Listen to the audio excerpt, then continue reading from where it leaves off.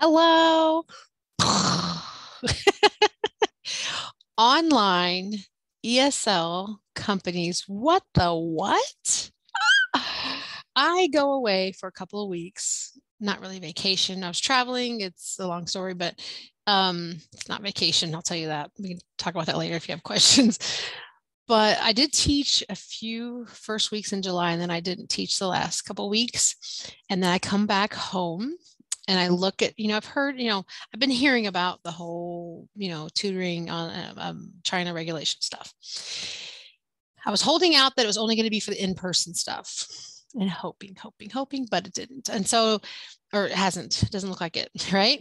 We are, let's see, August 3rd, 2021, making this video at night as I'm about to go to sleep and wake up and hopefully teach two classes in the morning. So, to let you know my personal choice, what's going on. I'm currently contracted with uh, three companies.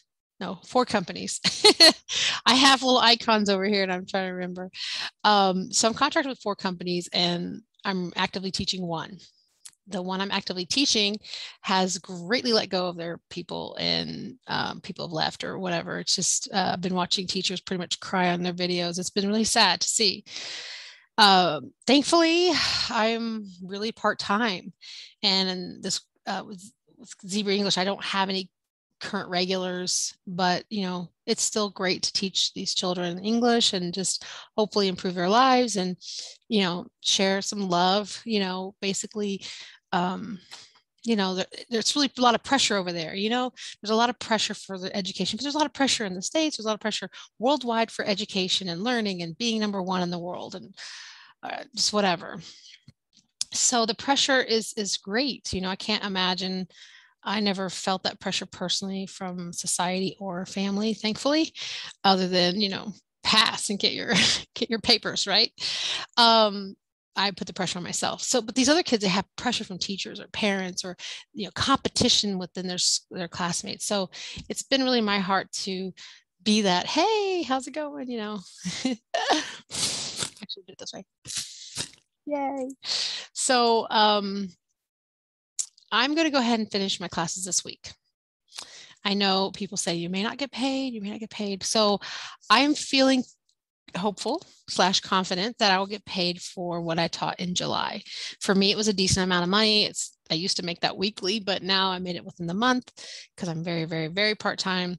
And so I'm really confident that I will get paid. So hopefully between August 10th and August 15th, I will see that deposit come in.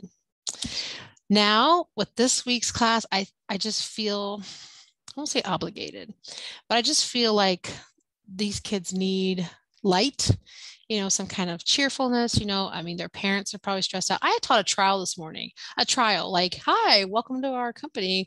Make you know book some classes. Like i don't know i think she just still wanted an english class right? Free english classes. That's what the trials are they're free english classes.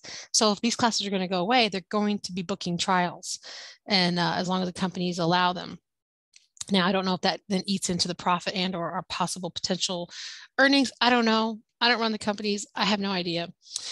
Just praying for wisdom for them that they make better and wise decisions to compensate everyone who has worked and has done all this stuff.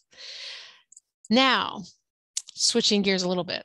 So I mainly teach for VIP Kid for the three and a half years when I went on vacation or vacation, it's not really vacation when I travel. I can't explain it. I'll tell another video.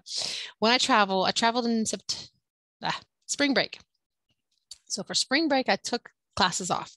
Then I took classes off pretty much until June, May, June, uh, because our school went back to campus and it was complicated and hectic. I at that point messaged all my got my WeChat, messaged all my regulars, and none of them replied really. I said, "Hey, you know, I'm going to go ahead and teach this summer. Let me know." And one student said they're not doing really well going to the next level, so they're going to postpone it till later. Totally fine. Sounds legit. The other student says, "I have one class left. I want it with you. We'll do it later because you're busy." I was. Another student who was my regular, regular, regular. If you look at his classes, I'm the majority of all of his classes. I'm basically his teacher. Nothing, crickets. Now, his parents have um, professions that are um, public service, or I'm not sure what you'd call them without telling them, you know. So I think they just stayed off the radar. So that's fine. That was early June, July, or whatever. So then this week, actually, I just messaged uh, again through WeChat, and I want to say this properly. Um, in short, the one that has the one class left, she's like, Yes, I want to book you. Let me know. So when I open it, she can go book it. Because what I have heard, though I cannot vouch for it at all, any way, shape, or form, is that some of the families are trying to quickly book all their classes to get them used up. Um, let me look at this real quick. What did I say? I said,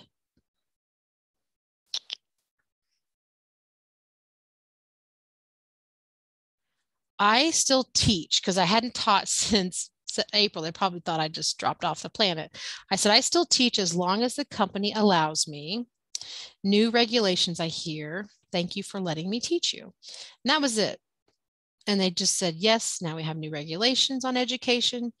English, ugh, English classes may stop, but now we take more classes every week to access. Okay, so they're trying to consume what they have left, what she said. That's her English, or the mom. So I said, Well, how many do you have left? She's like, I have 45 classes left. Got to teach all these. So do I teach them? Do I not teach them? Plus, she sent me some weird link. Ooh, maybe I shouldn't do that. I don't know. We'll do that later. okay, so this is what I'm going to do. Zebra English, I'm going to finish you this week and just go from there. See if you pay me in, in two weeks, uh, whatever, another week. VIP Kid, I am going to open classes for these regulars. If I don't get paid, I'm kind of okay with that because I really have a heart for these children, for them to excel, to learn for their parents struggling. They've already paid for these classes. Um, I'm their chosen teacher, which is so cute. And yeah, it will be totally suck if I don't get paid. But I think VIP Kid might be the biggest of all of them that can possibly do it. I don't know. It seems that after Kobe's passing, that he was one of their investors. It just seemed to tank after that anyway. I don't know if that's related. That's just a side theory that I have. Um, but yeah, I, I really think I have a little bit of, I don't say obligation or even responsibility. I just personally, it's kind of a, like I said, ethical thing, personal ethical thing. You know, my what I feel is a wise uh, response to this horrible tragedy. Honestly, so what are you what are you doing? Tell me below. What are you doing? What's your choices? What are you doing? Are you? And I would like to uh, I don't even care. Throw a link in the bottom. Tell us your other non Chinese companies, South Korea, Europe, anywhere in the world. Um, I don't know. Uh, to me, this is a very part time gig just to have some side cash to help pay for like Disney Plus and Netflix. but, um, you know, those are just extras. So um, let me know comment, comment, tell me, tell me, send me your referral links. I would love to check out things. We are a community. We need to support each other. We may not agree. We may have different theories. We may say things like I said on a list that they're not hiring foreign teachers. You know, they're not they're not allowing foreign teachers anymore based on a whole bunch of stuff I saw and read. I don't believe everything I see and read, but this one just really kept um, being the same theme. Uh, they're letting go of the teachers or other staff, and they're only letting their internal uh, local Chinese staff teach the classes from here on out or whatever's happening. I also heard another theory or, or suggestion on they're just hitting these ESL companies that are, I forget what they're called, mm, test based or educate. I don't know what it was, but some of the other companies, some of these companies are considered tech companies. So they may survive. Like I think it was GoGo Kid I think was one of them. I don't know. I don't know. I'm not gonna say I keep saying names because I want you to quote me.